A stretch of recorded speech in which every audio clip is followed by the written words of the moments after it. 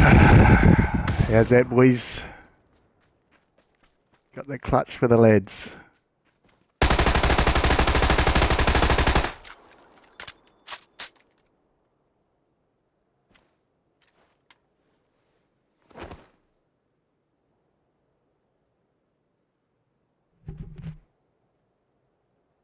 GG, boys.